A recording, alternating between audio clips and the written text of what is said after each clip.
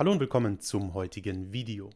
Weder im Religionsunterricht damals in der Schule noch in der Kirche wird dir wahrscheinlich jemals irgendwer gesagt haben, dass du Gott bist, dass Gott in dir ist, dass du nicht nur Schöpfung, sondern auch Schöpfer bist. Wir möchten heute aber nicht auf die Worte der Kirche schauen, wir möchten nicht zurück in den Religionsunterricht schauen, wir möchten auf die Worte von niemandem schauen, sondern wir schauen direkt rein in die Bibel und schauen, wo uns die Bibel versteckt und doch so klar kommuniziert, dass wir Gott sind. Wenn wir es zu verstehen wissen. Und dafür möchte ich gemeinsam mit dir reinschauen in Prediger 3.11 und ich zitiere, dort steht geschrieben, dort heißt es, auch die Ewigkeit hat er ihnen ins Herz gelegt. Nur, dass der Mensch das Werk, das Gott getan hat, nicht von Anfang bis zu Ende ergründen kann dieser Satz, dieser Vers ist sehr interessant, aber wir beginnen mal am Anfang. Auch die Ewigkeit, so ist es hier übersetzt, hat Gott dem Menschen ins Herz gelegt. Ewigkeit, wenn du, von, wenn du Ewigkeit liest, dann musst du wissen, dann bedeutet dies oder steht hier im Hebräischen Olam, O-L-A-M, Olam, der ewige Gott. Und wenn wir uns da in einer Konkordanz, in einer guten Konkordanz mal anschauen, was Olam denn bedeutet, dann ja, ist es zum einen Ewigkeit, der ewige Gott, die Ewigkeit. Zum anderen, und das ist sehr interessant, aber bedeutet es auch zeitgleich die ewige Jugend, der Jüngling, der Sprössling. Und das ist sehr interessant, denn wenn man sich Menschen anhört und diese von ihren Visionen erzählen, Menschen, die erwacht sind, Menschen, die sich daran erinnern, wer sie sind, sehr interessant gleich für den zweiten Teil des Verses, wir können die Werke Gottes nicht von Anfang bis Ende ergründen. Die Menschen aber, die sich daran erinnern, von Anfang bis Ende, die Menschen, bei denen der Vorhang gefallen ist, die erkannt haben, dass sie nicht nur Schöpfung, sondern auch Schöpfer sind, diese Menschen sprechen sehr häufig in ihren Versionen, in ihren Visionen von einem Baby, von einem Säugling, von einem Baby, welches dort symbolisch für diese Ewigkeit, für diesen ewigen Sprössling steht. In der Bibel ist auch die Rede vom Sprössling David. Und das ist sehr interessant, dass Olam hier zeitgleich übersetzt werden kann mit Jugend oder Sprössling.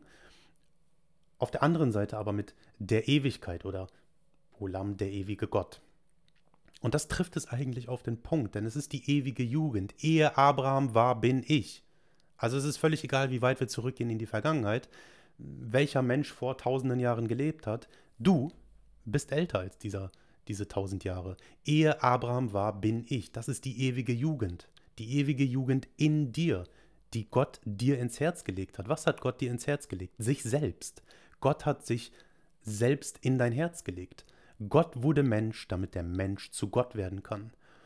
Das wissen wir aber nicht, wenn wir in diese Welt kommen. Das wissen wir nicht, denn wir können, so geht der Prediger 3.11 weiter, die Werke, die Gott getan hat, nicht von Anfang bis Ende ergründen. Was bedeutet das? Naja, das bedeutet, dass du dich jetzt gerade nicht daran erinnern kannst, was vor deiner Geburt war. Nehme ich an. Du kannst dich nicht daran erinnern, wer du bist, und darum bist du dieser Illusion verfallen, dass du lediglich Schöpfung bist. Dass du begonnen hast vor x Jahren und enden wirst im Grab. Das ist die Illusion, der du verfallen bist, aufgrund dessen, dass du dich nicht daran erinnerst, wer du bist und dass du dich nicht daran erinnerst, dass Gott dir die Ewigkeit, sprich sich selbst, ins Herz gelegt hat. Mit anderen Worten, dass du Gott bist. Das Wesen, welches diese Worte gerade überhaupt verstehen kann, ist nicht die Maske, die du trägst, es ist Gott in dir. Ich spreche gerade zu Gott. Du bist Gott. Wenn du sagst, ich bin, das ist Gott. Alles, was du hinzufügst, ist ein Zustand, den du, Gott, angenommen hast und dementsprechend in deiner Welt verkörperst. Aber du bist nicht diese Verkörperung, du bist nicht dieser Zustand, du bist die immer größer als dein Zustand. Egal wie viel Geld du hast, egal wie gesund du bist, egal wie krank du bist, du bist immer größer als dieser Zustand. Das ist die ewige Jugend in dir. Ehe Abraham war, bin ich. Bin ich, Gegenwartsform. Es ist die ewige Gegenwart. Olam, der ewige Gott, der dir ins Herz gelegt wurde. Und jetzt ist natürlich die Frage, wie können wir uns denn daran erinnern? Wie können wir denn den zweiten Vers oder den zweiten Teil dieses Verses hinter uns lassen, nämlich dass wir diese Werke, die Gott getan hat, nicht von Anfang bis Ende ergründen können. Wie können wir denn merken, dass wir nicht nur Schöpfung, sondern auch Schöpfer sind? Und da kommt die Praxis des Manifestierens ins Spiel.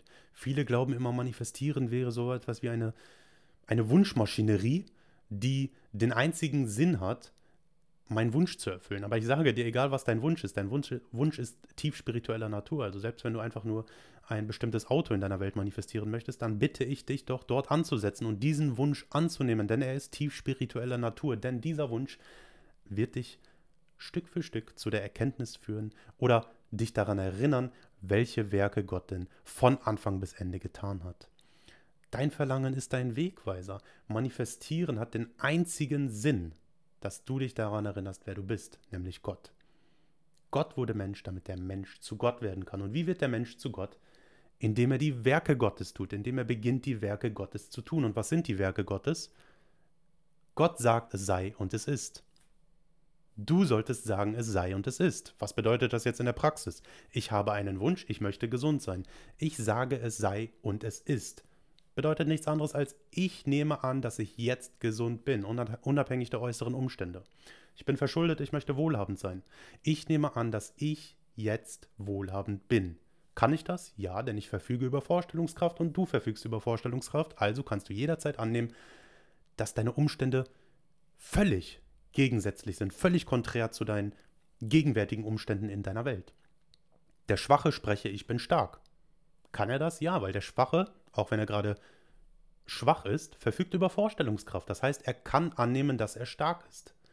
Der Schwache spreche, ich bin stark. Nicht ich werde stark sein. Nein, Gegenwartsform. Ich bin stark. Und wenn er das tut, wenn er diese mutige Behauptung aufstellt, dann wird er in seiner Welt Stärke verkörpern. Die Schwäche wird der Stärke weichen. Und dann beginnt die Erinnerung. Dann wird er vielleicht sagen, hm, das war Zufall, aber dann wiederholt er das Ganze, denn vielleicht ist er jetzt auch noch arm. Der Schwache, der Arme spreche, ich bin reich. Und dann fließt das Geld in seine Welt. Und er wird feststellen, ich kann nicht nur Schöpfung sein, ich bin Schöpfer. Die ewige, die Ewigkeit wurde mir ins Herz gelegt, weil ich die Ewigkeit bin. Ehe Abraham war, bin ich. Um es also auf den Punkt zu bringen, egal welches Verlangen, egal welchen Wunsch du heute hast, Höre nicht auf die Welt, die dir sagt, dass Wünschen Träumerei ist, dass Wünschen etwas Schlechtes ist, dass du in der Realität ankommen solltest. Also was ist das für eine Aussage? In der Realität ankommen. Die Menschen, die dir das sagen, sind so weit von der Realität entfernt, dass man weiter nicht davon entfernt sein könnte. Die einzige Realität, die es gibt, ist Ich bin. Und was du diesem Ich bin hinzufügst, ist einzig und allein dir überlassen. Und darum bitte ich dich, dass du heute deinen größten Wunsch als erfüllt annimmst. Wie machst du das? Wenn dein Wunsch heute erfüllt wäre in deiner Außenwelt, was wäre anders? Was würden Menschen zu dir sagen? Wie würdest du aufwachen? Wo würdest du aufwachen? Wie würdest du zu Bett gehen? Was würdest du zu dir selbst sagen? Ich erinnere mich, ich erinnere mich daran, als das noch ein Wunsch war. Impliziert diese Aussage nicht, dass der Wunsch nun erfüllt ist? Falls ja, dann kann ich mich doch in meiner Vorstellung selbst sagen hören, ich erinnere mich daran, als das nur ein Wunsch war. Wenn ich das nun wiederholt tue, dann bewohne ich den Zustand der Wunscherfüllung. Und dann wird sich der Wunsch in meiner Außenwelt erfüllen. Und dann beginne ich, mich zu erinnern.